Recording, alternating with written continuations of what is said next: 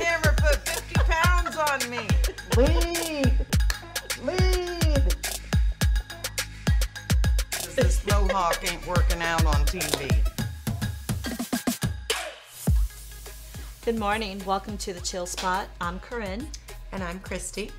And today um, is September the 11th, and I know um, it's kind of a touchy subject, but we would like to talk about it for a few moments. Um, I remember on this day, I was actually um, going to be flying out to California um, with my mother and my two sisters and my aunt, but we never made it. Um, I still have my um, airline ticket. I don't know why I saved it, Wow. but I but I saved it.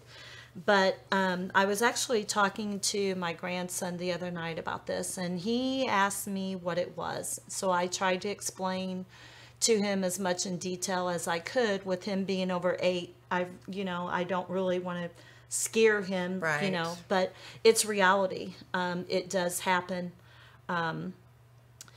So I, after I explained it to him a little bit, and he said, "This isn't in my history book."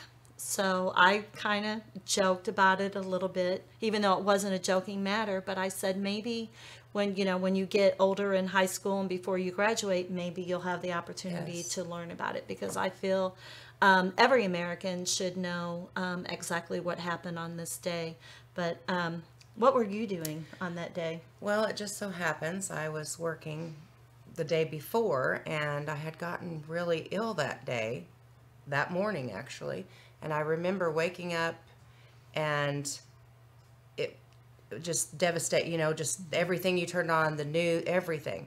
And it was just so overwhelming. And since I wasn't feeling well, it was even worse, you mm-hmm. know? So days of just watching that on TV. I was gone for about a week from work. I had gotten the mm-hmm. sinus infection and it was just really depressing and devastating and just thinking worrying and thinking about all the people that were involved. And yeah it was just um that was a day i'll never forget. I, hopefully not very many people will ever forget that day. It was a, Right.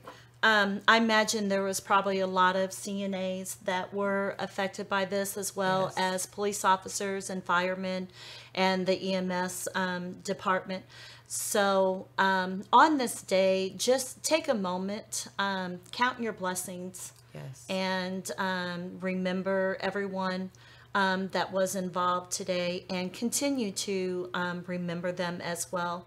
So, today on the Chill Spot, um, would you please join us in a moment of silence to remember 9 11?